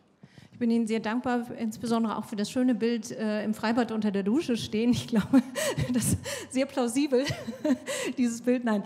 Ähm, machen wir mal einen Schnitt. Ich würde nämlich gerne kommen auf die Frage, wie, Herr Mühlhahn, ist ja nicht nur Dekoration hier. Entschuldigen Sie, dass Sie so lange jetzt gewartet haben, aber die Inner-DDR-Bewegung, ähm, dazu wollten wir Sie jetzt auch nicht zwingen, dazu irgendwas äh, äh, zu sagen. Aber die Frage ist doch, wie dann 89 die Dinge rückwirkend, äh, also was für eine Rückwirkung es äh, dann in China hatte. Und da sind Sie nun wiederum äh, gefragt. Ich möchte vielleicht noch, ich gehe gleich auf die Frage ein, ich möchte noch einen anderen Punkt aufgreifen, was auch in der Diskussion gerade rauskam. Es ist natürlich wirklich interessant, diese massive Fehlentscheidung der DDR-Regierung, die auch deshalb ja ein bisschen unverständlich ist, weil die Beziehungen zwischen der DDR und China so großartig nicht waren. Ich meine, zwischen 1960 und 1980 gab es de facto für 20 Jahre keine Kontakte. Von 80, 86 äh, ist der Honecker-Besuch aber die Beziehungen zur DDR sind viel äh, weiterentwickelt, wirtschaftlich ist nicht so. Also es ist eigentlich relativ, ja, es gab gar keine Notwendigkeit, ja, seitens der DDR. Man war ja nicht in der, in der großen Allianz. Also das ist, glaube ich, nochmal äh, eigentlich äh, interessant in diesem Zusammenhang. Und dann natürlich die Rückwirkungen sind natürlich massiv. Und ich sage jetzt mal, wir im Westen in der BRD, äh, und ich war damals Student, da gab es ja viele Personen, die dann auf die Entwicklungen hier geschaut haben in der DDR und die These war vom Ende der Geschichte. Ja, es gibt keine, äh, die ganze Welt wird sich jetzt in Richtung Demokratisierung entwickeln. Es ist ein unaufhaltsamer Prozess. Aber der Beispiel China sieht, dass man in China ganz andere Schlussfolgerungen daraus gezogen hat. Für die chinesische Regierung war es eigentlich so, die Entwicklung in Osteuropa war eine Bestätigung dafür, dass man 89 richtig gehandelt hat. Dass es zwar ein Fehler war, dass, also im Sinne von eine, ein, ein Verbrechen, das glaube ich, das Bewusstsein war sicherlich da, aber dass, wenn man es nicht getan hätte, wäre eine Entwicklung wie in Osteuropa unabwendlich gewesen. Und für, mhm. für, für chinesische Führung ist ja heute noch Gorbatschow eigentlich einer der größten sozusagen äh, ja, äh, Verlierer, ja, den man sich vorstellen kann. Das heißt, wenn ich das noch kurz den Gedanken zu Ende führen darf, die, Entwicklung, die wir heute in China sehen, hin zu im Grunde dieses starke autoritäre System, die Entwicklung der ganzen präventiven Maßnahmen, der, der Überwachung, aber auch der Fokus auf Wirtschaft, äh, das sind alle Schlussfolgerungen, die man zieht in China aus der Beobachtung der Ereignisse hier. Naja, ist das nicht sehr die staatliche Perspektive, die Sie jetzt reflektieren? Also ich meine, äh, wenn ich das, das mal so sagen darf, äh, China steht keineswegs so rosig da, wie es sich immer gerne darstellt. Zwar hat es enorme Wachstumsraten, die es jetzt offenbar nicht mehr halten kann, aber im Grunde ist das alles nur nachholende Modernisierung. Die haben 300 Millionen Landarbeiter, die leben im größten Elend. Die haben eine wahnsinnige soziale Spannung. Sie haben permanent lokale Aufstände. Sie haben Korruption im Land. Wie wollen Sie das alles ohne Rechtsstaat, ohne starken Staat und letztlich ohne Demokratie lösen? Also im Grunde, für meine Begriffe, ist ja damals 89 äh, Folgendes passiert diese Öffnungsbewegung, die sie ja hatten, ne, die, da lag ein Zauber drin und den haben sie verloren. Und sie haben ihre alte totalitäre Fratze wieder gezeigt. Und sie haben die Chance, dass sie wirklich sozusagen eine echte Erneuerung machen, die der Zukunft des ganzen Landes und der Gesellschaft dient, eigentlich verpasst. Im gewissen Sinne ist das äh, sozusagen, natürlich ist da Geschichte passiert und Sie können da auch nicht dran hinter zurück. Das ist so etwas wie der Hitler-Stalin-Pakt für die spätere Sowjetunion. Eigentlich müssen Sie damit aufräumen, wenn Sie denn wirklich Ihre Zukunft bewältigen wollen. Also hierzulande gibt es ja immer mal Leute, die träumen von einem starken Mann oder so, auch weil die glauben, die, die Leistung dieses Landes seien als viel besser. Aber das ist ja im Grunde genommen auch nicht zu vergleichen, was da, äh, äh was da gewissermaßen passiert. Und ähm, natürlich, die sind auch in einer völlig anderen Lage. Und äh, für mich, muss man sagen, also der entscheidende Unterschied zwischen Gorbatschow, der sich eben auch auf den Weg nach Erneuerung gemacht hat, und der in China besteht darin, für Gorbatschow war völlig klar, keine Gewalt, da Gewalt und Militär darf nicht eingesetzt werden und partnerschaftliches Umgehen ist äh, die Grundlage für die Lösung unserer Probleme, sowohl innen- wie außenpolitisch. Und genau das ist das Moment, wo die Chinesen sagen, machen wir nicht, uns geht unsere eigene Macht über alles andere. Und die, die, die, die, die Folgen hat ja nicht nur das eigene Land zu tragen, sondern die gesamten internationalen Spannungen, die wir haben. Was wird aus Taiwan und so weiter? Wie geht das da gewissermaßen weiter? Das kann uns ja alles nicht kalt lassen. Ja. Zumal das Stichwort Menschenrechte ja. natürlich ja. Äh, nicht nur ein Stichwort ist. Nee, nee, Wobei Sie jetzt nicht in die Rolle kommen sollen, nee. zu, die chinesische Regierung zu verteidigen. Nee, nee. nee aber ich, stimme, ich bin da ja absolut zu. Und das, dieses ungelöste politische Problem ist natürlich äh, völlig klar.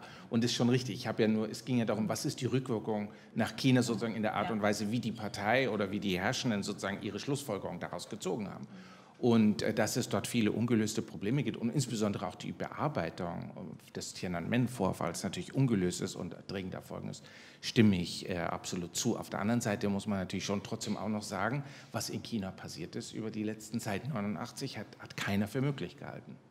Ja, also mit dem, äh, es ist ja immerhin, also äh, es ist dort und es ist auch im Grunde so, dass wir es auch äh, also dass die Erklärungen davon, ja, die wir dafür haben, natürlich auch ein Stück weit gar nicht so weit reichen. Weil eigentlich hätte es so sein sollen, dass man an diesen ungelösten politischen Problemen scheitert. Und das kann auch noch sein, das stimme ich zu, aber äh, man kann nicht ignorieren, was dort auf der anderen Seite passiert ist und was den Erwartungen widerspricht, die wir hatten. Und nicht nur in China.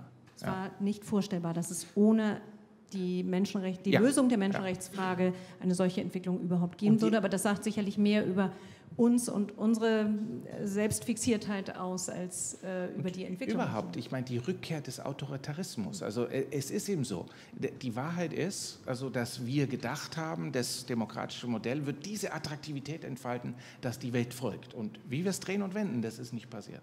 Bevor wir jetzt die Weltlage insgesamt erörtern, würde ich mal darauf hinweisen, dass ähm, es durchaus auch ein Saalmikrofon gibt oder wir teilen eins unserer Mikrofone mit Ihnen, weil Sie mutmaßlich auch äh, Fragen haben und herzlich eingeladen sind, diese auch loszuwerden. Und die müssen sich nicht an die Analyse der Weltlage heute richten, sondern natürlich äh, vor allem an unser eigentliches Thema, die bisher wenn ich das richtig sehe, auch meinetwegen ein bisschen zu kurz gekommenen Klagetrommeln selbst, also die Fragen, wie überhaupt Protest äh, in der DDR möglich war. Aber wer weiß, was Sie interessiert, bitte sehr. Wenn Sie Fragen haben, wäre das der Moment, diese zu stellen. Sonst, es ist auch wirklich warm. Habe ich durchaus auch gemerkt, dass, äh, wie haben Sie eben gesagt, Herr Schönfelder, die Pferde werden unruhig, äh, dass Sie das Mikrofon schon so im Anschlag haben, dass Sie etwas loswerden wollen. Ich, es gibt ja einiges dazu Bitte. zu sagen. Also man kann ja auch unzufrieden sein, neuerdings. Also zum Beispiel mit der China-Politik auch Deutschlands. Also ich habe manchmal in den letzten Jahren den Eindruck, und vor allen Dingen nachdem Trump also Präsident in Amerika geworden ist, dass China der ja. bessere Freund jetzt wird äh, von Deutschland und der EU. Ja. Und das ist ein Trend, den kann ich fast nicht gut finden, weil ich äh, und nicht nur ich beobachte, dass China also, also nicht nur etwas, sondern auf dem Weg nicht in ein autoritäres, also China war immer autoritär, in eine ja. totalitäre Diktatur geht und zwar eines neuen Typus. Und das ist schon äh, sozusagen äh, sehr befremdlich, wenn man davon ausgeht, dass man in Deutschland sich seine Freunde noch aussuchen kann. Also wenn China sozusagen das ganz große Thema ist, um unseren Wohlstand abzusichern, also sozusagen äh, die, die innere Konfiguration der Bundesrepublik Deutschland sozusagen zu retten, äh, dann äh, sind wir, glaube ich, auf einem falschen Weg. Und das würde ich natürlich hier auch zur Diskussion stellen. Wäre vielleicht eine andere Diskussion, als ähm, uns gibt, eigentlich heute aufgegeben es, es gibt vielleicht noch, ist. Es gibt, wer heute, wollen Sie mal ich, kurz ich, den Herrn eine kleine, eine kleine, eine kleine Ergänzung zu Wort heute. kommen lassen, der ja, sich nämlich mit einer Frage oder einer Ergänzung zu Wort gemeldet hat. Gleich. Ja, ich möchte vorab sagen, ich fand das hochinteressant äh, zu hören, wie zwei Bürgerrechtler die damalige Entwicklung erlebt haben. Ja. Sind wir ja hier in der Stasi-Zentrale. Und es würde mich sehr interessieren, ob man etwas darüber weiß, wie im engsten Führungskreis der äh, SED, auch hier in diesem Hause, diese ganze Entwicklung diskutiert worden ist. Waren die hochgradig alarmiert oder, ich meine, dass sie das nicht gut fanden, liegt auf der Hand, aber weiß man darüber etwas? Könnten Sie darüber etwas vielleicht sagen? Also, Sie waren hochgradig alarmiert. Ähm, die von Herrn Schönfelder erwähnten Inhaftierungen zeigen es, dass man nicht nur alarmiert war, sondern auch ähm, zur Tat schritt und die, ähm, das Ministerium für Staatssicherheit durchaus auch äh, willens und in dieser Situation in der Lage war, äh, Macht zu demonstrieren und Einschüchterungsversuche zu, äh, zu wagen und mh, mm, so sicher, dass das Ganze zu einem Ende kommen würde und äh, die SED-Spitze sich nicht würde halten können, war es im Juni äh, 89 natürlich nicht. Möchten Sie das ergänzen, wie Sie es wahrgenommen haben, dass die Behörden mehr als nervös waren, sondern äh, durchaus auch einsatzwillig? Sie haben die Kampftruppen erwähnt. Ja, die Behörden waren sowieso nervös, also auch ohne äh, diese äh, chinesischen Ereignisse. Also Egon Krenz hat im Fernsehen äh, nach seinem China-Aufenthalt ja diese Filme mitgebracht und hat äh, ausdrücklich gesagt, dass die Chinesen äh, richtig gehandelt haben. Und es war aber auch der Reformer Hans Motro in China. Und es war also der Hoffnungsträger sozusagen des gesamten Westens auf eine Demokratisierung der DDR. Also äh, ja. das, uns hat es beunruhigt, für die war es vielleicht ein Hoffnungsschimmer. Wir können das Dokument 14 mal anschauen, wenn Herr Griebe das einspielt. Das ist ein Schreiben Mirkes. Ähm, nach den Protesten und dem Trommeln eben auch äh, vom 10. Juni zur Lage in der DDR. Ich lese das mal vor. Die verstärkte Verleumdungskampagne westlicher Massenmedien im Zusammenhang mit den jüngsten Entwicklungen in der Volksrepublik China, insbesondere den entschiedenen Maßnahmen zur Niederschlagung des konterrevolutionären Aufruhrs in Peking, haben zum Ansteigen provokatorisch demonstrativer Handlungen feindlich negativer Kräfte gegen die Maßnahmen der chinesischen Partei und Staatsführung sowie gegen Einrichtungen und Bürger der Volksrepublik China in der DDR geführt. Also man interpretiert es gleich, ähm, wie man es äh, gewissermaßen haben möchte. Man liefert der Parteispitze auf diese Art und Weise auch Argumentationsmuster. Ähm, und mh, das ist sozusagen die Wirkung Stasi intern nach oben. Nach unten ist die die, die, es ja durchaus auch gab, also äh, hart durchzugreifen. Also, Stefan. Äh, die, Führung die Führung dieses Hauses war höchstgradig alarmiert. Ich überblicke nicht die gesamte Aktenlage aus der damaligen Zeit. Sie waren nicht ähm, besorgt ähm, wegen der Panzer in, in China. Das kam ihnen eigentlich eher zu Pass. Sie waren vielleicht besorgt, dass sozusagen ein Stück dieses Demokratie-Impulses der Proteste dort in China hier rüberschwappen könnte. Aber ich glaube, die großen Sorgen musste man sich machen. Sie hatten sich Sorgen gemacht, äh, sie mussten sich Sorgen machen über das, was aus Moskau passiert. Und es gibt ein Politbüro-Protokoll, ähm, da, äh, da, fällt jener bemerkenswerte Satz, ich weiß nicht von welchem Politbüro-Mitglied, dann sagte er plötzlich etwas zu viel sein. Normalerweise kommt der Feind, der imperialistische Feind, immer aus dem Westen. Jetzt kommt er aus dem Osten. Das war die, die Wahrnehmung. Und in dieser Zeit war die DDR schon isoliert im Grunde genommen isoliert. Also äh, äh, Gorbatschow hatte sich abgewandt, er hatte ganz deutlich gemacht, also äh, äh, dieses Festhalten an den stalinistischen Größen und so weiter, das liegt mir nicht. Irgendjemand von euch muss auch Glasnost und Perestroika machen. Ähm, äh, das führt sonst in die Irre. Das, ähm, das, war das eine. Polen machte sich auf den demokratischen Weg, Ungarn öffnete die Mauer und so weiter. Also das war die Lage, in der man sich befand. Hinzu kam die gesamte wirtschaftliche Krise und die Fluchtbewegung, die wir seinerzeit hatten, die pfiffen auf dem letzten Loch. Also das war das Problem der SED und das war auch zu spüren. Ähm, und äh, deshalb meine ich auch, dass das an der politischen Wahrnehmung der Situation etwas geändert hat Denn was wäre denn der DDR passiert, wenn sie ähnlich wie China äh, ihre Truppen hätten? Natürlich hätten sie es machen können. Vielleicht hätten sie 10.000 oder 20.000 gefunden, die geschossen hätten. Vielleicht hätten sie das gefunden. Aber die hätten doch trotzdem von niemandem Geld gekriegt. Vom Westen sowieso nicht. Und sie haben äh, von, von Russland, die ja noch bankrotter waren als wir, erst recht nicht. Die hatten nichts mehr zu der damaligen Zeit. Also da lag keine Zukunft drin. Ne? Also, und dann darf man nicht vergessen, der Kalte Krieg war zu Ende. Und das war auch in der DDR bekannt. Die SS-20 wurden verschrottet. Ne? Das erste Mal hat es substanzielle Ab Abrüstungsverhandlungen gegeben über die Langstreckenwaffen von, von Reykjavik. Also die Existenzgrundlage für diese Art von kommunistischen System, das wir in der DDR hatten, war mit Gorbatschow zu Ende gegangen. Schlicht und einfach. Also wenn man das durchdachte. Mhm. Und insofern spürt, also es war Hilflosigkeit zu spüren. Das muss man sagen, Hilflosigkeit. Wir haben eine nächste Wortmeldung. Mitta ist mein Name. Ich äh, möchte das mal hervorheben, was Herr Schönfeller hier so präzise und so genau gesagt hat. Und ähm, ich glaube, dass es doch eines deutlich macht. Wir wissen nichts von China. Wir wissen nicht die ideologische Entwicklung. Wir wissen die ganzen Zusammenhänge nicht. Äh, wissen Sie, ähm, wenn man chinesische Filme aus den 70er oder 80er Jahren sieht, dann wird ein Westeuropäer nichts damit anfangen können, weil er, sie sind ihm völlig fremd.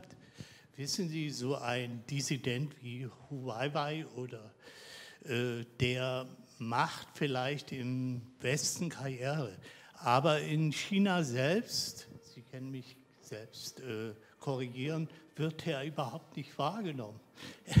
Über den lacht man. Er macht sein Geld im, in Europa und äh, er ist zweifellos. Ich will seine äh, Tätigkeit nicht in irgendeiner, irgendeiner, Weise herunterspielen. Aber er ist äh, losgelöst von den Chinesen. Er hat nichts mehr mit China zu tun. Und deshalb, dass der, äh, die Spaltung zwischen äh, China und Deutschland die ist meines Erachtens sehr, sehr gut in Herrn äh, Schönfellers Statement hervor, ist hervorgetreten. Und was ich noch zu Herrn Schönfeller sagen möchte. Wissen Sie, Sie haben eines sehr, sehr gut gesagt. Die politische Opposition in der Regional, in der DDR, ist überhaupt nicht erforscht. Wissen Sie, Großhernersdorf lag in der Nähe von Herrnhut. Und das, äh, äh, keiner wird das so genau wissen, aber Herrnhut war eine äh, religiöse Gemeinde, die wohl einzigartig in der DDR war und die zweifellos auch die Möglichkeit gehabt hätte, reformerische äh, Aktivitäten äh, zu entwickeln. Aber Herr Schönfelder, sagen Sie doch mal, wie hat Hernut sich gegenüber Ihren Aktivitäten verhalten? Gar nicht. Also ich wüsste nicht, dass Hernut sich mit unseren Dingen beschäftigt haben. Das ist, glaube ich, eine erschöpfende Antwort, die wir so stehen lassen können. Ähm, und dann würde Herr Mühlhahn gerne noch aufgreifen, Ihren äh, prägnanten Satz, wir wissen nichts von China. Ja.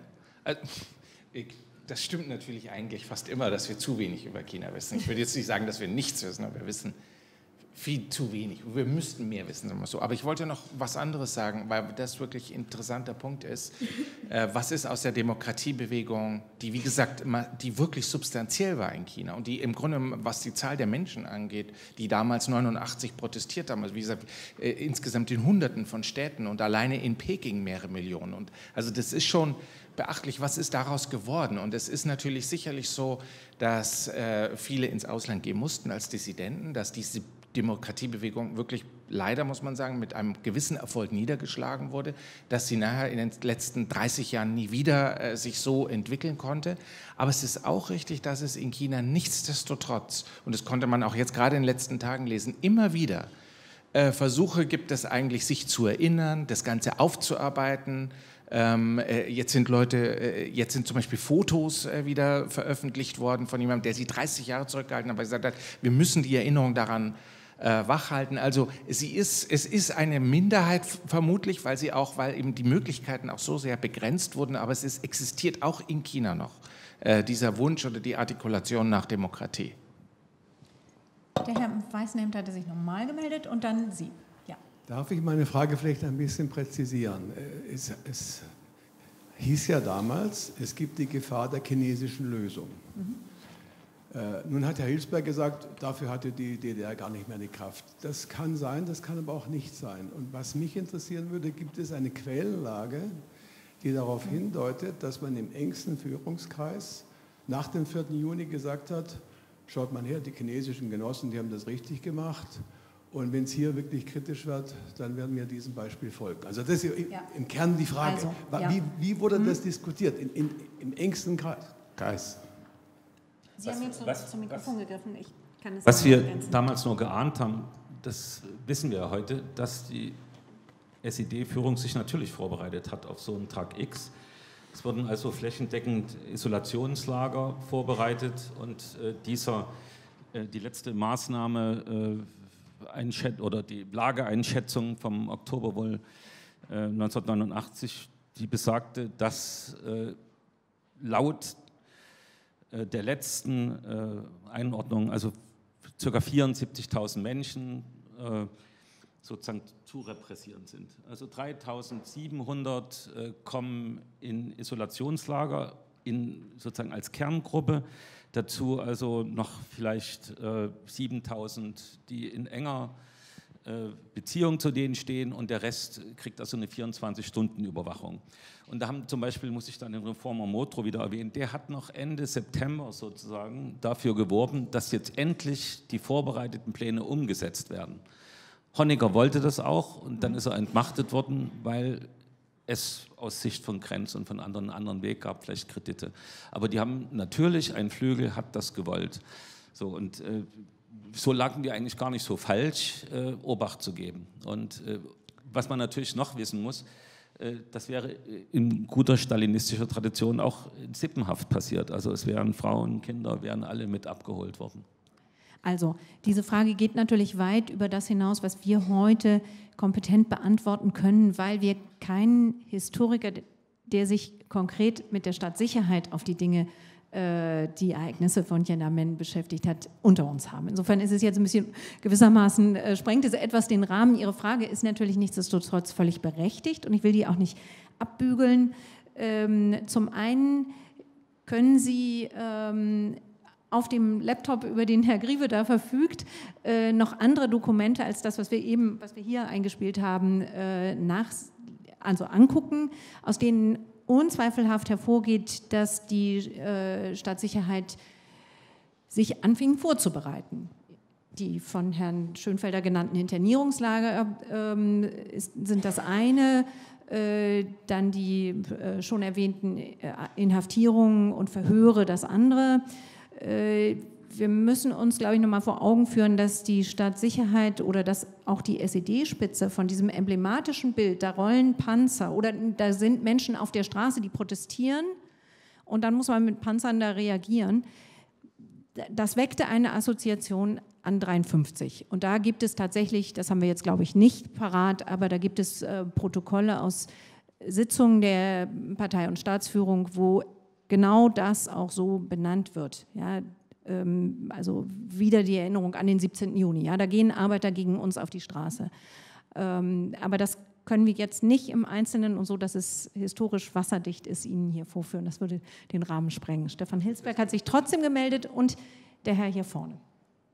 Ähm, ganz kurz. Ähm, diese Frage, die Sie stellen, ist natürlich die Frage, im gewissen Sinne die Frage aller Fragen. Sie rührt ähm, natürlich auch an die innere Verfassung oder Verfasstheit der DDR selbst, ähm, äh, die ja erstens kein souveräner Staat war und fest eingebunden in dieses System und äh, die vieles nicht hat machen können, ohne dass die Sowjetunion ihr Okay dazu gegeben hat. Die Erfahrungen, die wir gemacht haben, waren widersprüchlich.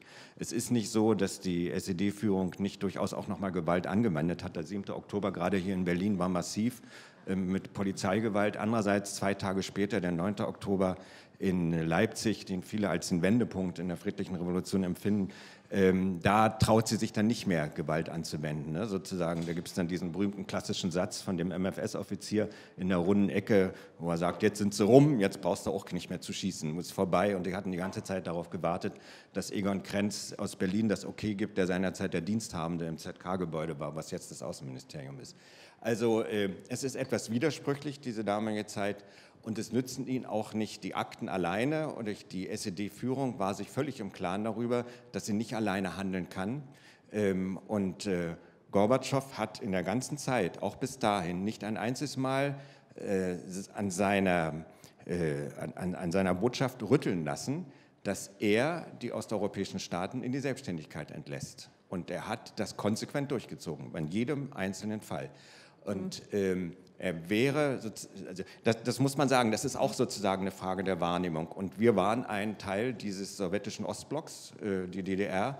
Und warum sollte er hier an dieser Stelle anders handeln? Also die SED-Führung war in einer ganz fürchterlichen, letztlich Dilemmalage.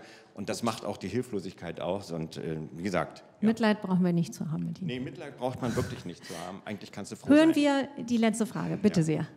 Äh, mein Name ist Zui und ich bin von der Deutschen Welle, ich bin Journalist. Und meine Frage geht eigentlich auch mal so an diese Pekinger Lösung an. Und ähm, weil Günter Schabowski hat vor zehn Jahren in seinem Buch mal so einmal geschrieben oder, oder einmal behauptet, ähm, damals hat tatsächlich mal so in der Führungsetage von SED so eine Rolle gespielt, dass die Pekinger Lösung ganz wahrscheinlich zu einer internationalen Blamage von der DDR führen könnte. Und das wäre also, also äh, weil die SED-Führungsetage so ein Bedenken hatte oder gehabt habe, also so behauptet. So.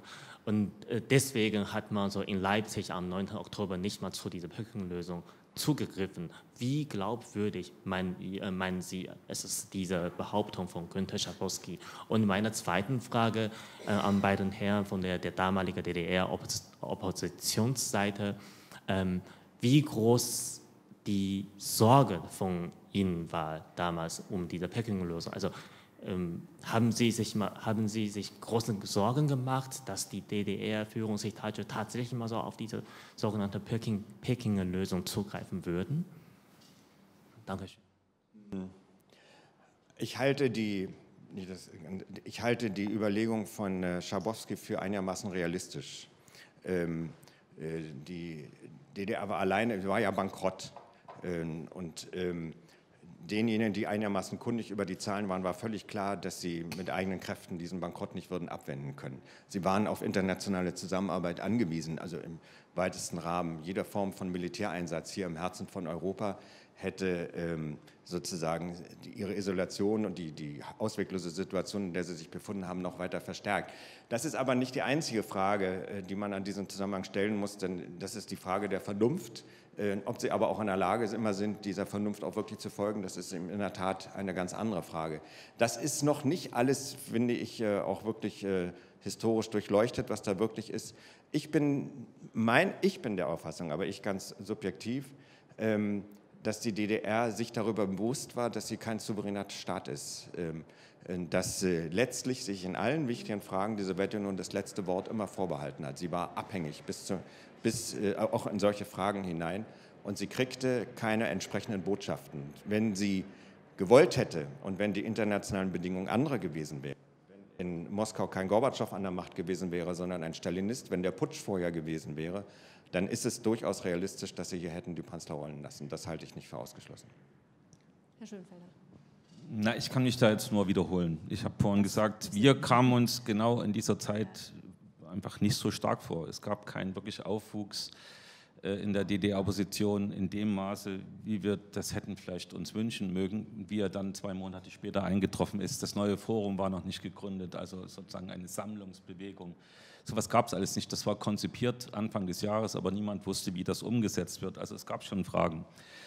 Aber wenn mir es gestattet ist, nochmal in die Gegenwart zu kommen. Also heute haben sich ja in der Neuen Zürcher Zeitung hat sich, also ich glaube Nummer 5 auf der Fahndungsliste damals in einem langen Interview zu Wort gemeldet. Und äh, das sind die ernstzunehmenden Sachen. Also was nützt uns das jetzt mit der Geschichte, uns so zu beschäftigen, dass wir im Grunde genommen die Zeichen der Zeit nicht erkennen. China strebt eine Weltmachtposition an, baut überall auf der Welt, beginnt äh, äh, Militärstützpunkte äh, zu, zu gründen und wird energischer und mobilisiert sozusagen äh, Kräfte, äh, also es sind Entwicklungen wie vielleicht in Russland. Und das beunruhigt schon. Und da China aus meiner Sicht ein kommunistisches Land ist, kann ich also darüber nur so beunruhigt sein, dass man äh, wirklich auch seine Politiken überdenken muss. Also wir brauchen nicht so viel Plaste, als dass uns das egal sein kann, wie es um unsere Freiheit bestellt sein wird.